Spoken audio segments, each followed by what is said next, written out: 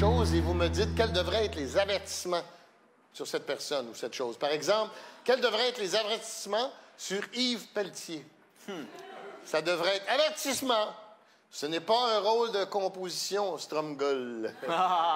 Dou, dou, dou, dou, dou.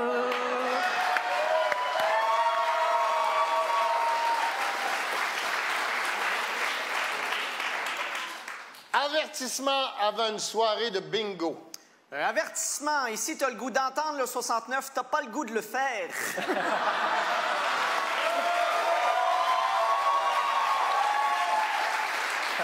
Avertissement avant une soirée de bingo. Avertissement, si t'as jamais eu ta ménopause, ça se peut que pendant la soirée, ça se passe. Bam.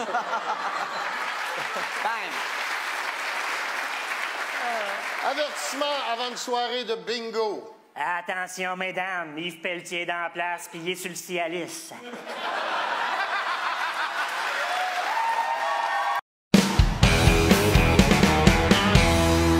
C'est quoi un bar open? Ça, les enfants, un bar open, c'est la chose à ne pas crier à la maison Jean Lapointe. C'est quoi un bar open? Ça, là, c'est comme de la magie. La bière, elle rentre dans ta bouche, puis quand elle sort, c'est du vomi. C'est quoi?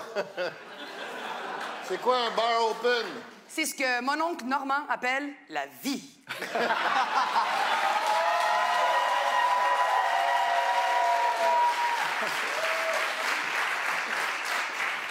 C'est quoi un lavement? Ça, c'est comme si le groupe Calinette ouvrait ses bureaux dans ton colon. C'est quoi un lavement?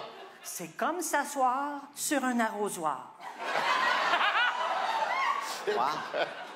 C'est quoi un lavement? Ça, c'est comme le Boxing Day. Tout est en liquidation, ça doit sortir.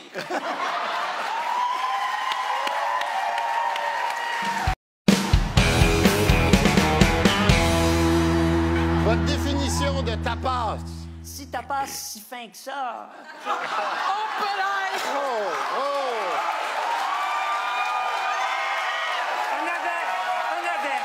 Non. Bonne ligne, mais le mauvais jeu. OK. Votre définition de tapas? C'est un repas difficile à attraper pour Hugo Girard.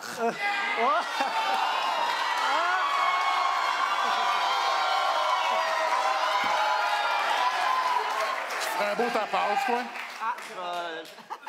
Je pensais pas que t'étais encore là. Un beau tapas? Je t'attends en sortant. Il va te rénover. Votre définition d'une auto électrique? Une voiture que quand t'es au courant du prix, tu pognes un choc. Oh, ça fait deux. Votre définition d'une auto électrique? Voiture dans laquelle le propriétaire te parle juste de sa voiture. Tellement. Votre définition d'auto électrique? C'est une voiture qui nécessite autant de batterie que mon vibra... euh, mon téléphone. s'il